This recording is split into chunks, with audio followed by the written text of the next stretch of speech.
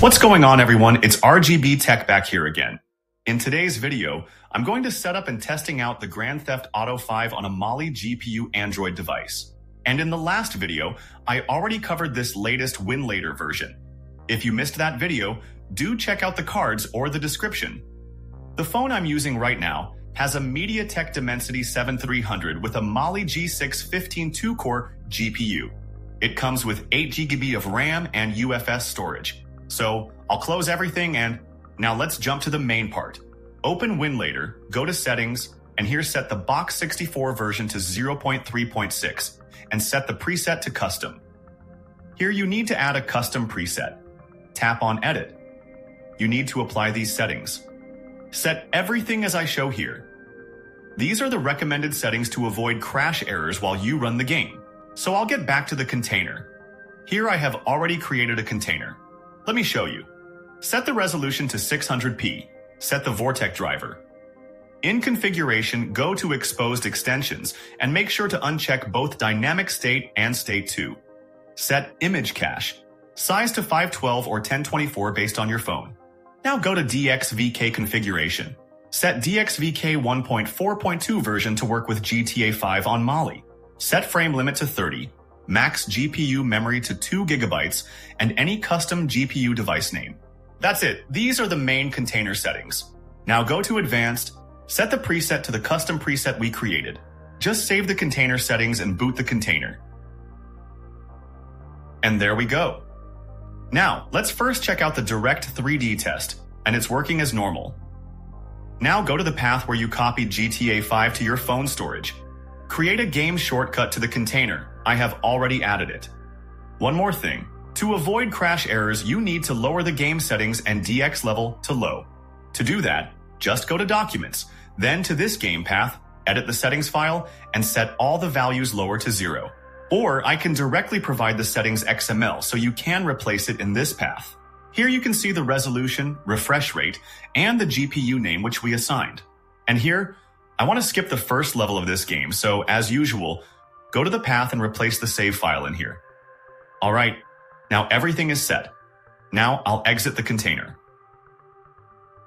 Alright guys, it's time for the test. These are the recommended settings inside the launcher. Now let's load.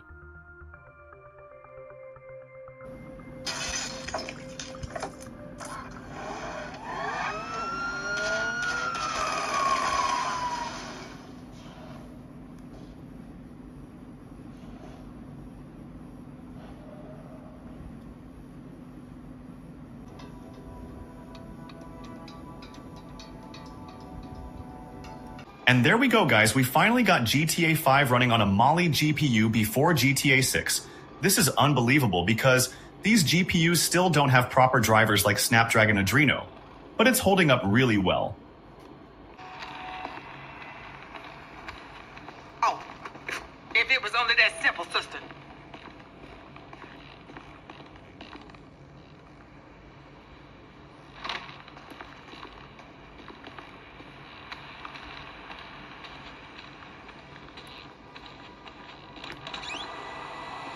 I feel like going to a movie.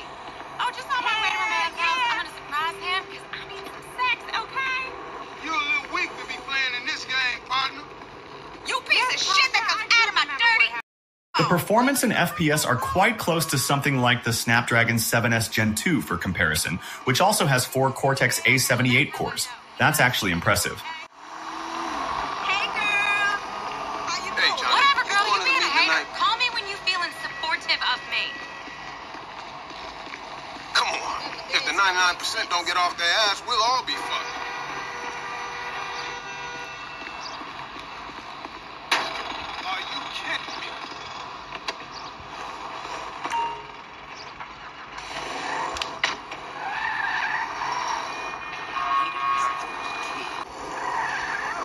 I just like watching those old games. It takes me back.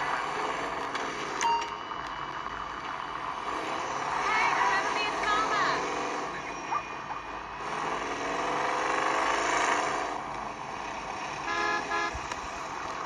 Into that shit. But there are a lot of stutters and frame lags here. Well, this is just the beginning for Mali GPUs. We can even expect better performance in future updates.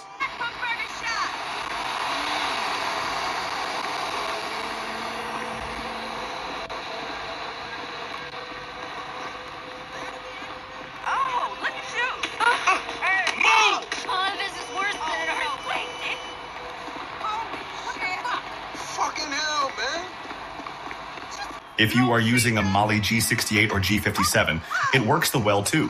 It all depends on the number of shader cores on the GPU. If you have phones with Dimensity 8200 or above, or even other flagships, you'll get even better performance since they have more shader cores.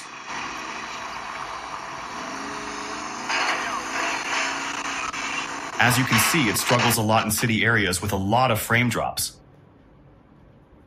But honestly, it's really good to see this on a Mali GPU.